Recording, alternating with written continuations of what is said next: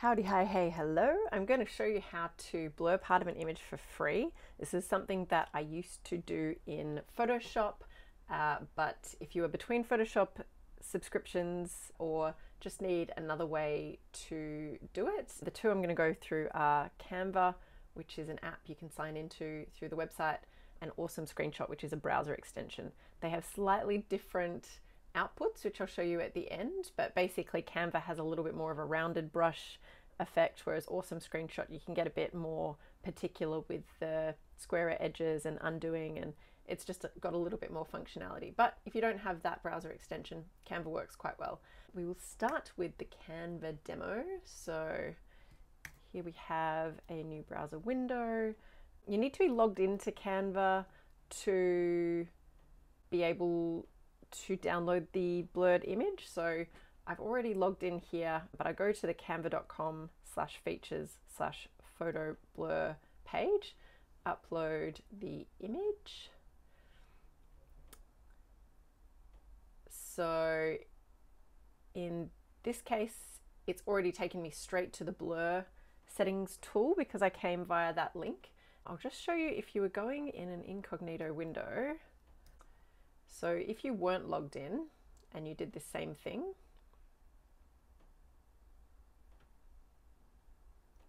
this will only take a moment. You get a slightly different view, which is this one. It'll tell you you're logged out. You would go to edit image and then scroll down to the blur effect in the options menu. And so there you get the same, same sort of options. So if you were to do it this way, you would just need to then sign in to save it at the end. In my case, uh, I've got the blur options here. So I want to add blur, brush size I might bring down a little bit, and intensity I might bring down a little bit, and you'll see this kind of gives you, um, so where's my blur tool? Ah, it's gone. I want to edit. I want to go to the blur tool. Oh, here it is. All right, so say I want to get rid of this bit of text, maybe uh, this. Oh, didn't do that very well. Do an undo, which is Command uh, Z. Let's try that one again. Um, and then, oops, I accidentally went over part that I didn't mean to blur. So you can remove by going back over it. Then maybe you want bigger brush size and turn the intensity down to get a different part of the text. Oh, I'm on remove, sorry, add blur. Whee! Then, no, I think that doesn't quite look like text that I want it to show, so I pull that intensity down again. And the purple just kind of shows you which section you're blurring. So once you've blurred all the all the different bits that you want, maybe if you do any other accidents, you can kind of go back and forth until it looks right. And say I'm now finished with all of my edits. Whoops, I've gone over this part. Let's go there. Okay, perfect. Once I'm happy with all of all of those changes, I can turn off that blur app. Um, it'll sort of save what I've done and then I can download the image as I'm going to do PNG file type. You can choose what you need.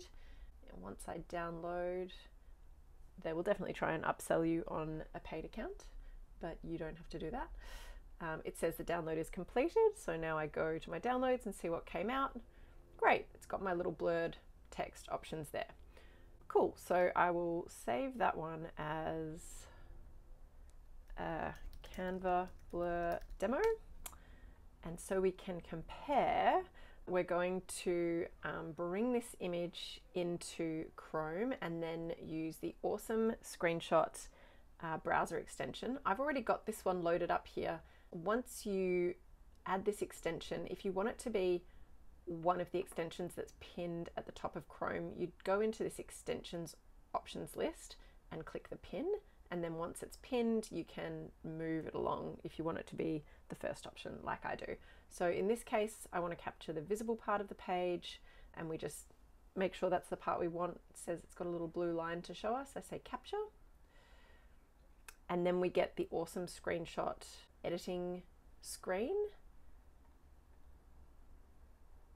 I want to annotate. And in this case, the blur tool is the little um, droplet icon. You can see there's some other pro features, but the blur is in the free um, options. So once you've got the blur tool, I'm going to make it the same as I blurred on the first one so we can compare and contrast. So that part, uh, this part, this part. I don't think there's an option for how blurry it is in Awesome Screenshot, but you can do things like undo what I've just done, or if I get this part and I decide I want to edit it, you can click and drag it's a little bit more flexible with the blurred sections, I think, than Canva. So finally we did this little section and I really like the square, just aesthetically, the way the square boxes work for blurring. All right, so once we're happy with the blurred sections, we say save and then, yep, that looks good. I'll download. And again, I'll go into my downloads and this is the awesome screenshot blur demo. And then if we were to have these up side by side, so that one there and this one over here. So you can see on the left here, this is the awesome screenshot result with the squared off edges, only one option of intensity of the blur, but you can sort of edit and undo quite easily to get them in the right place. Looks quite neat and tidy.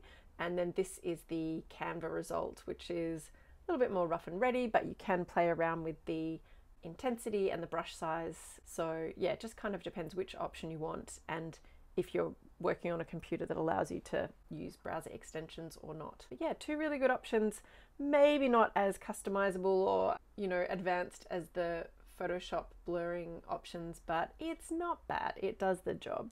So I hope this helps. Thanks. Bye.